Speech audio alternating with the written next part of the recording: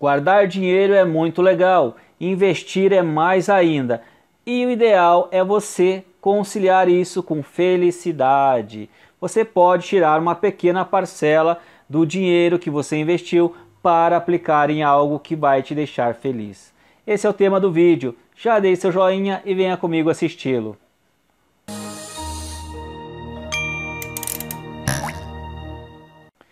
Olá, meus amigos, bem-vindos ao canal. Com vocês, Peterson Siqueira. Obrigado aí se você é inscrito. Se você está chegando agora e quiser, pode se inscrever clicando aqui embaixo no botão. O tema de hoje, então, é investimento conciliado com felicidade, com a conciliação de você retirar uma parcela do que você guarda para você ter o seu momento de lazer, para você se divertir. Quando eu era pequeno, tinha lá alguns cofrinhos que você colocava moedinhas e não tinha como tirar aquelas moedinhas do cofrinho. Isso é muito legal porque te ensina a poupar.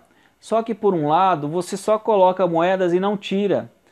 Quando precisa tirar você tem que quebrar o porquinho porque é, não tem ali uma saída de moedas e isso gerava muito constrangimento na hora que eu precisava de um dinheiro ou quando eu precisava resgatar o que estava ali, tinha que quebrar o cofrinho. Só que modernizou a situação. Hoje nós estamos com um cofrinho mais moderno, inclusive um desses cofrinhos aqui, esse é da minha filha, tá vendo que tem moedas aqui dentro. Eu achei bem interessante nesse cofrinho porque tem a possibilidade de você colocar moedas aqui atrás e quando você quiser retirar as moedas, ele sai e você pode pegar as moedas aqui novamente. Eu achei muito bacana para incentivar o seu filho a começar a investir e ele não vai quebrar o cofrinho dele aqui, no caso é uma vaquinha, né? Bonitinho, achei muito interessante. Então, aí é um cofrinho que existe para a criança que você vai ensinar a, a sua criança, o seu filho, é, a investir, a guardar dinheiro, né? No caso, a criança vai aprender a guardar primeiro num cofrinho, talvez sejam os primeiros passos. Mas a vantagem é que ele pode tirar algumas moedinhas para comprar um doce, para comprar uma bala. E isso dá autonomia para a criança, porque ela percebe que ela consegue administrar o dinheiro. Ela vê aumentando a quantidade de moedas e ela vê diminuindo quando ela tira. Aí que está o pulo do gato. O pulo do gato é o seguinte: você ensinar a criança que ela pode investir, que ela pode poupar, que ela pode resgatar, mas sempre ela tem que resgatar menos do que ela coloca.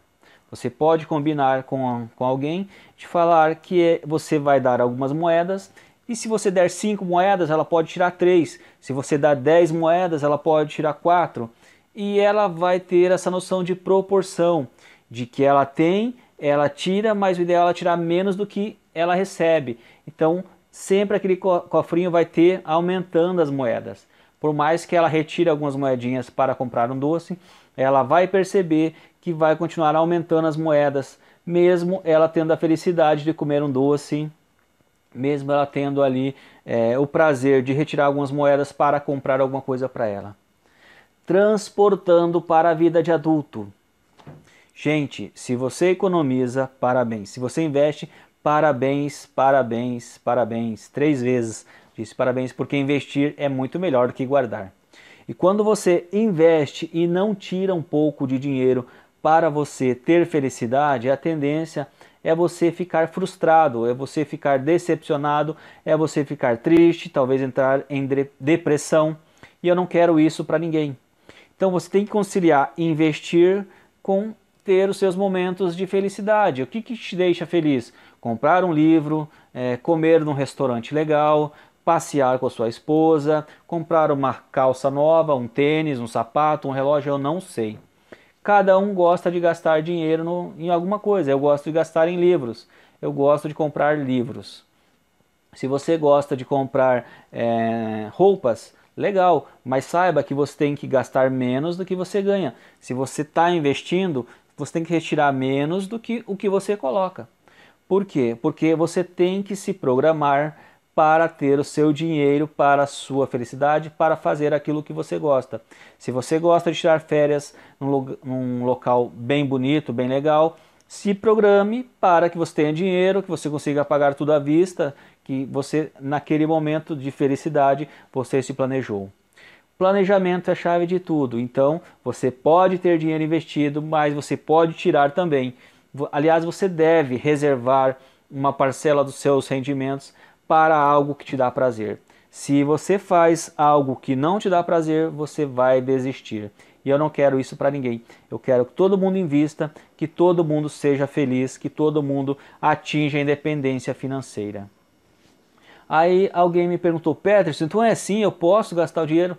Claro que pode, gente. Não é ser um tio Patinhas que só guarda, só guarda, só guarda. Você pode gastar o dinheiro, mas você se planeja para isso, para gastar sempre menos do que você investe. A não ser que aconteça uma emergência, uma calamidade, mas para quem está preparado para isso já tem um dinheiro lá que é reserva de oportunidade, reserva de emergência e é para isso que serve esse dinheiro para uma emergência. Agora, o dinheiro da felicidade, da festa, da viagem, do seu prazer também tem que existir na sua vida, na sua planilha, e isso aí vai entrar como gasto, assim como entra o gasto de água, de luz, de telefone, de internet, é, entra lá o gasto do lazer. Tá bom? Com parcimônia, com sabedoria, você vai conseguir chegar lá no seu objetivo, mas você tem que ter foco, focar no que você quer e não se deixe desviar pelo caminho. Vá na direção daquilo que você quer, que você vai conseguir, você vai conquistar. Tá bom? Esse era o vídeo de hoje, espero que você tenha gostado. Se gostou, compartilhe para todo mundo aí que tem criança, que tem um cofrinho. E deixe aqui nos comentários se você chegou a ter esse cofrinho aí que precisava quebrar para tirar as moedas. Sou Peterson Siqueira, vou ficando por aqui e te vejo no próximo vídeo.